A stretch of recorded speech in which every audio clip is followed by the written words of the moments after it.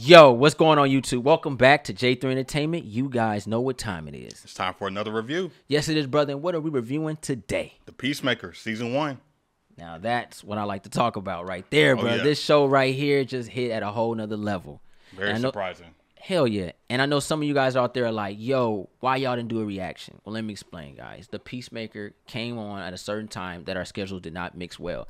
So we couldn't do a reaction to it. And I didn't want to do reactions like late. You know what I mean? So Yeah, I was like, true. you know what? Let's just enjoy the show, sit on the couch with the family, and watch The Peacemaker. Yep. So we're gonna go ahead and do a review for you guys. And those out there that are new to the channel that don't know how we review movies and shows, let me tell you how we do that. We like to talk about the good, the bad, And we give our favorite scenes and then we break down our grade. and we also spoil the show. Yes. So if you have not seen the show and you don't want any spoilers, please push that subscribe button. Push that watch later. Thumbs this video up. Put in the comments and say I'll be back. I appreciate that. I'll be like, oh, somebody didn't want. Okay, for sure. No pun intended. Come back and watch the review after the fact. yeah, there you go. So, Ronin, let's get into this review. All right, let's start with the good. So I will say this is an aftermath Suicide Squad film, and if you like that movie, you're gonna love this show. Hell yeah. Same universe. Uh, this is the first time we've seen like an actual hit movie tie in going into a TV show universe. So this is kind of like an experiment in- a sense. Yeah. because James Gunn's coming from Marvel to DC, and like it was very uh, great transition because we have his signature in and out in the movie and in this show, and he's able to keep that edginess and uh, that raw action, but bring in unfamiliar characters to a mainstream audience that nobody was checking for. Mm-hmm. So Suicide Squad, and then now the Peacemaker. Now we're following him, and then a brand new team. So I love that we're in this pre-Suicide Squad universe, and uh, it's just a lot of fun. And there was so many twists and turns, and uh, it's really a great mystery show too, Bruh. with dark comedy on top on top of it. leave some for me. Man, well said, bro. I 100% agree with you. When I heard James Gunn was doing this show, I was already ready for this. I knew I was going to get this type of adventure that I want. And this show right here proves that the studios hold back creators like James Gunn all the time. But when you let them put that foot on that throttle, they'll give you something that you ain't know you needed in your life. And Peacemaker is one of those shows.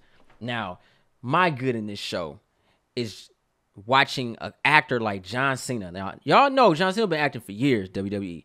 And that's a certain type of acting. Yeah, But to get the emotion from John Cena, bravo. oh yeah, I felt this man's pain. I was impressed. yeah. The Marine himself. I was like, oh my gosh, John Cena is like, yo, teaming up with uh uh uh Robert Patrick. Yeah, yeah. You talking about the Terminator? That's a crazy father and son duo. It, it was tight though. I'm about to kill my son. God damn. the the the twist of trying to become a hero and doing whatever you can to be that hero, but still following the negative ways of your father Yeah, and seeing the same thing go on uh uh with the team and Amanda Waller right. and trying to stay alive. Well written, well acted. He ain't lying. Just the the fantasy of the whole show was dope. Um, going on those adventures, judo master, Yeah. eating Cheetos, bruh, and whoop your ass at the same Super time. OP. Crazy. I just loved every bit of it. The whole aspect of the butterflies Yeah. and how when you watch when you watch all the way to the end, you realize they really wasn't even bad Right. to a degree. I mean, they had some effed up methods to you know control the world, Right. but they really were there to help mankind. Right. I love villains like that. And what do we always do? We fear what we don't understand, so we go to war. Yeah. I mean, they do take your whole body, and once they in you, you're dead. invasion of the body snatchers. That's pretty much what it was. It really was. Which was tight. Dang, That's man. where the sci-fi fantasy came in. Yeah. it, it was cool. I, Yeah. I love every bit of it. it. It felt like 30 episodes, but we only had eight. Yeah. I like it. It, it moves. Uh, I'll say the pacing was very smooth, and uh, we learned a lot about the team. And then you learned about, uh, like you said, I agree with uh, Peacemaker's methods and things like that. Because again, we thought he was just a jokester, but I think that was just to keep himself sane because of all that darkness he was around, A lot and of because dark, of the bro. family history. Killed his brother, man. It's like, dang, okay, so now we know why he's such a joking character because he has to find the humorous things in life because he's been raised and born in darkness, basically. I felt I f- that that pain. Man, he killed his brother, Yeah, his only friend, I was wild. and he didn't even do it on purpose. Right. Crazy. And then got like casted out and hated for it, but they were told to fight. Like so, it's like, well, what am I supposed to? You know, yeah, y'all made us do this, so it was weird. dope aspect. Oh yeah. Um, let's get into the bad, bro. I will say I would have liked to have seen more setup of uh, other Suicide uh, Squad members because I feel like this is in the same universe, and I felt like they should have used this Peacemaker experiment as a way to tease other characters that could eventually join the team because we know the team always changes. Yeah, yeah. and then the sentences get reduced. So I felt like this was an experiment to do that, and I felt like they kind of left that on the back burner. I understand it's a Peacemaker show, but Peacemaker happened because of the Suicide Squad mm-hmm. movie, so you can't forget them, and I felt like they kind of did. A negative for me was more of a bad. A show like this that is just completely just on a whole nother level is not for everyone.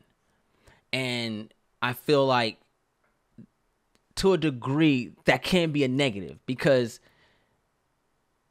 it just does so much. Yeah, but you it's not for everybody. Everybody can't enjoy this show. And that's the only negative i have because i really enjoyed the show. Everything it stood for. It gave me my superhero gave me my drama my dark humor sex. Can't ask for more. It did it all. it Yeah, it gave me everything. I i mean damn the humor was there. The the sci-fi was there the comedy the drama the soundtrack, the the- music the hit, music hit. music hit. Yeah, the reminiscing with the music, the montage, the action, yeah, the ass whoopings, Yo, the the the gunplay. yeah. It had all these elements, and the only thing I could think of, it ain't for everybody. Yeah, they do drop a lot on you. It's it's definitely overwhelming to somebody eight that's kind of new to this genre. Yeah, I agree. Eight episodes. I, I wouldn't like introduce this to somebody unless they've seen uh, those other familiar movies that are in that same vein, because it's a lot to take in. I can see somebody. Why he shooting somebody in the head? You know, you get that one old lady. Yeah, Why they naked?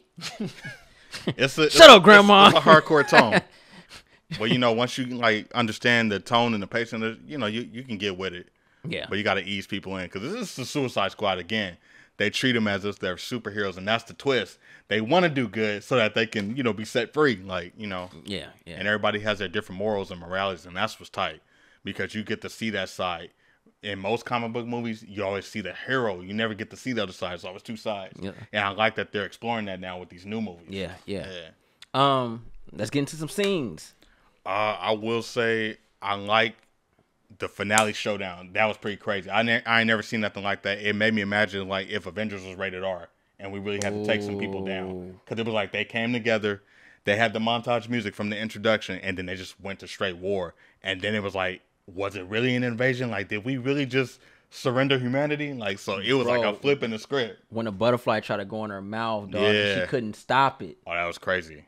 She's about to lose that brain. hmm Dang. Yeah, I, I thought that was one of the dopest finales I've ever seen, especially in this genre. Like that was it was like some Mortal Kombat stuff, like the way they went down. You had the gunplay, you had the hand to hand, you had power to a degree. Bro, the helmet. Yeah. Them Hey. boosh. Shout out to Effed Doom. up everything, man. um, one of my scenes, man. You know me, I'm a sucker for emotion. If you can get me, then you know you did good. And it's the character uh with the beard, the uh John. Yeah. Bro, that was so sad and it was an eye opener just in general. Someone like myself who's a jokester and plays and, and laughs and stuff like that, it makes you sit back and see what you could do to somebody just by having fun. Yeah. And it ain't fun for them. Right. When John had to explain why he had that beard to that alien just to live. Because if he exploited it, he would, he would have died Yeah. and they can hear on a walkie on how he was like, I never have been with a girl. I did it so I could feel younger, look cooler. And it's like John Cena just looked like a straight dick. Like, damn. Mm-hmm. He acknowledged I was sad for him, bro. I was like, Oh, yeah. golly. Because he had to tell it. but he saved their lives. He had to tell the truth. If he didn't tell the truth, he was gonna die. yeah. He had to tell the truth. And it was like, wow. The circumstances, man. He lives in his box hole. He just works to live. Amanda Waller's grimy. Made her look even worse. bro. And then the whole, the whole best friend, the sidekick of Vigilante, how he is this pop culture idealist. Like he always has these like conversations when he's in combat. He's kind of like Jim from The Office and then Big Daddy from Kick Ass. Like he has these crazy Yup. personalities. But then like when that. they start, eh, you know, going back with the Whitney Banner, it's funny when they start arguing over uh, pop culture. And they were talking about all the people that could have been arrested, and he didn't name the one that he wanted to hear. that was funny. I, I like this stuff. The crazy thing, he kept going. He ad libbed a lot of that. yeah, yeah, yeah. that was crazy. Um, another scene for me. I I just overall I just love the whole butterfly aspect. I thought that was so Men in Blackish.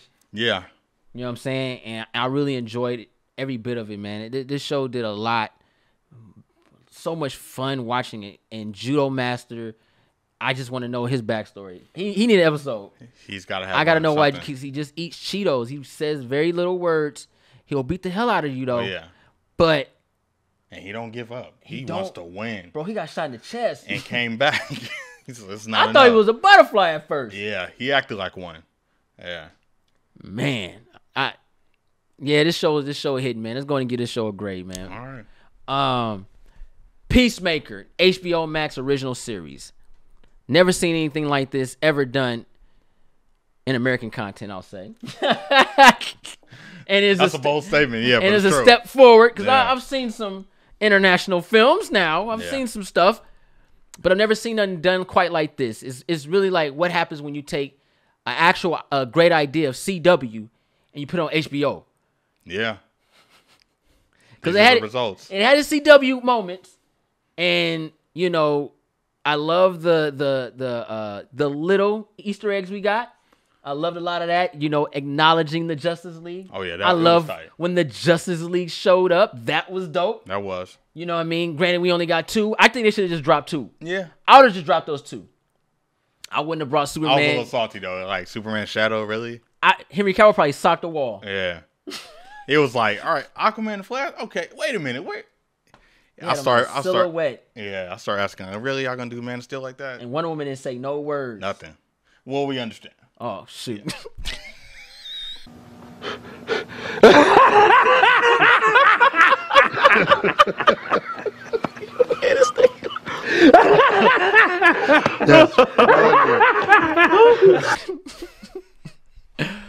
But anyway, that was really cool just seeing that and just knowing the potential of the DCEU universe and just knowing that what Zack Snyder has created is still continuing on.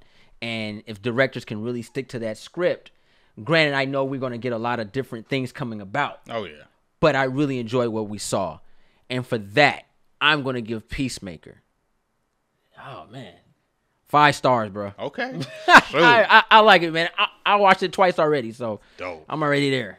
Uh, I'm a James Gunn fan. Uh, I like what he brings to the table, and I like that he brings, you know, weird, obscure teams that no one's checking for, C-list, D-list characters, and makes them A. Uh, this is a five star for me, man. I, I enjoyed every bit of it. Uh, cast, writing, directing, all that good stuff. Bring on season two, man. And I need more. with that being said, guys, season two, I'm gonna try to make sure we take off Okay. so we can go ahead and react with y'all. Cause I ain't gonna lie, man, I was busting up laughing on the couch. Like it was just funny, man. Me and my lady just sitting there watching it, and we just laughing, having fun with it. Dope. Love every bit of this show, man. Shout out to that theme song, bro. Fire. That intro is Eagle, ah! freaking eagle, Man, bro. we'll be at work doing that. Uh, uh, Bruh, the eagle was so smart. oh yeah, Loved every bit of it. using the brain. Yep. Random characters, tight. Crazy. If you guys enjoyed the review, go ahead and push that subscribe button. Thumbs up this video. Don't forget to share Instagram, Facebook, Twitter, and also follow us on Instagram and Twitter. Yes. I would love to know what you guys thought about Peacemaker and put your grade down below in the comment section. I'm J3. On the Shogun. Woo! Ninja Assassin. 100,000 subscribers. Come on, y'all.